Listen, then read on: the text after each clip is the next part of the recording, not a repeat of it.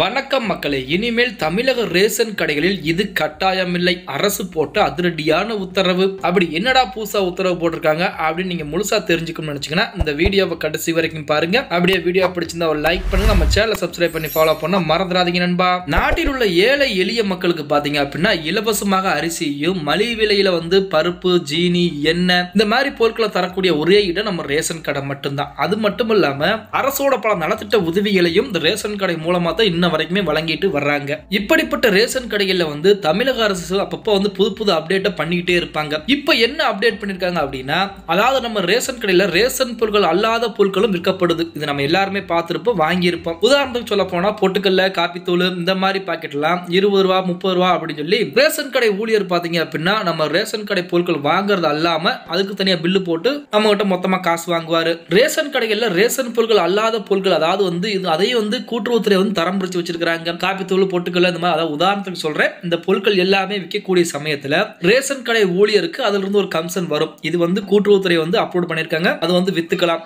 அது மட்டும் இல்லாமல் இப்போ ஒரு சில ரேஷன் கடைகள்ல வந்து என்ன பண்றாங்க அப்படின்னா அதாவது ரேஷன் கடை ஊழியர்கள் வந்து கூட்டுறவுத்துறையின் சார்பாக சொல்லாத பொருட்களை வந்து இவங்களா சொந்தமா கொள்முதல் பண்ணி விற்க ஆரம்பிக்கிறாங்களாம் அப்படின்னு கூட்டுறவுத்துறைக்கு புகார் பறந்ததை அடுத்து இப்ப என்ன பண்ணிருக்காங்க அப்படின்னா இனிமேல் வந்து கட்டுப்பாடற்ற பொருட்களை வந்து யாரும் விநியோகம் செய்யக்கூடாது. அப்படி விநியோகம் செஞ்சீங்கன்னா கடுமையான நடவடிக்கை எடுக்கப்படும். அதே போல பாத்தீங்க அப்படின்னா அதாவது வந்து காலாவதியான பொருட்களையோ மக்கள் வேணாம்னு சொல்ற பொருட்களையோ வந்து அவங்ககிட்ட வாங்கு அப்படின்னு சொல்லி திணிக்க கூடாது கட்டாயப்படுத்தக்கூடாது. அப்படி படுத்துனீங்க அப்படின்னா ரேஷன் கடை ஊழியர்களின் வேலை பறிபோகும் அப்படிங்கிற மாதிரி இன்னைக்கு உத்தரவுல வந்து கூட்டுறவுத்துறையின் சார்பாக தெரிவிக்கப்பட்டிருக்கு நண்பா.